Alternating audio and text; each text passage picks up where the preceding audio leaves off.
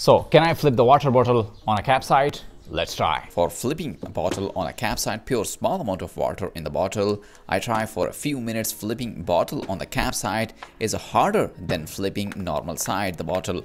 But after 20 minutes of practice and dozens of attempts, I got it. So, try this challenge and subscribe the channel for more awesome cool skills.